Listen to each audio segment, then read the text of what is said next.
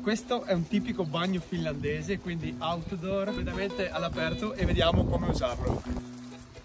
Allora, questo è anche molto bello in tema G-Lemon.